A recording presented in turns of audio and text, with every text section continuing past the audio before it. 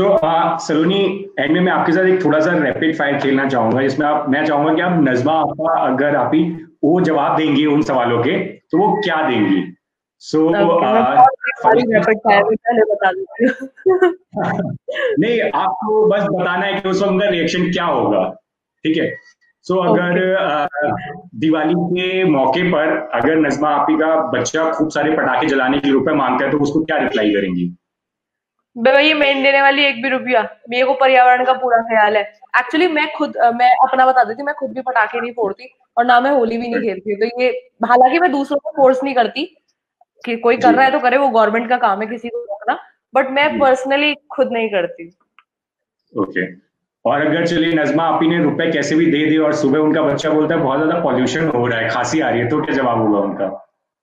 नहीं नहीं नजमा आप ही नहीं देंगे। मैंने वही तो बोला कि वही मेरी देने वाली हाँ। मैं नहीं दूँगी। इतनी मेहनत से कमाई जाती पेड़ पेड़ पे थोड़ी उग रहे। सो अगर नजमा आपी को कंगना रनौत कहीं मिल जाए तो वो उनसे क्या बात बोलना चाहेंगे? जो उनके दिमाग में ये बात मैं बोल के रहूँगी कंगना को। मैं तो भैया अस्सलाम वालेकुम करके वापस आ जाऊँगी। मैं नहीं बोलती आजकल कुछ भी। Okay okay. अगर नजमा आपी को अर्नब गोस्वामी के फ़ैन मिले और वो बोले कि आप उनका शो रोज देखा करो। कम से कम दस मिनट तो आपको देखना ही देखना है तो आप उनको क्या जवाब देंगी? मैं भैया अब कहाँ से देखूँगी उनका शो अभी तो बंद चल रहा है। कहाँ से देखूँगा आप बताओ? जी। अगर इंटरनेट ट्रोलर जो है वो नजमा आपी को ट्रोल करने की कोशिश करे तो वो वन लाइनर अगर अपने अंदाज में बोलेंगी ट्रोलर को तो वो क्या बोलेंगी उसके लिए? नजमा आप ही ट्रोल्स पे ध्यान नहीं देती। नजमा आपी की लाइफ में और भी बड़ी बड़ी चीज़ें है। वो नहीं ध्यान देती ट्रोल्स पर। Okay.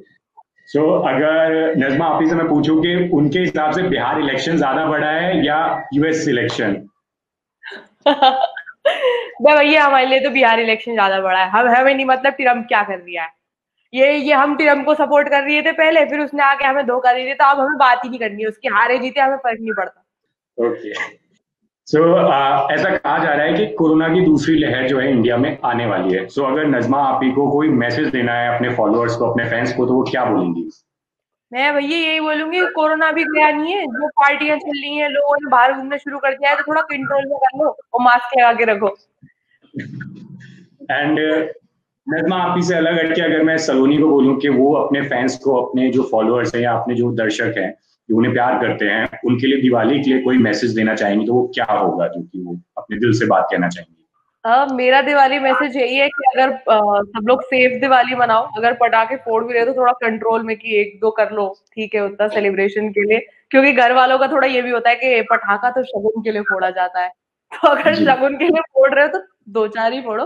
क्योंकि पोल्यूशन काफ़ी बढ़ ही रहा है और दूसरों को कुछ लोग ये भी होते हैं कि दूसरों को ज़्यादा ज्ञान दे देते हैं। बॉलीवुड में भी काफ़ी सेलिब्रिटीज है जिन्हें हमने देखा है कि खुद अपनी शादी में पटाखे फोड़ लिए, बाकी आगे दूसरों को ज्ञान दे रहे तो शुरुआत खुद से ही करो, खुद भी वही करो, अगर कंट्रोल करो और दूसरों को उसके बाद बोलो तो सेफ़ दिवाली करना है सबको। So thank you Saloni Bollywood like के साथ बात करने के एंड आई होप कि आपका जो नया शो है, उसके एपिसोड्स जो आ रहे हैं, वो और ज़्यादा फ़ेमस हो और लोगों का प्यार आपको और ज़्यादा मिले।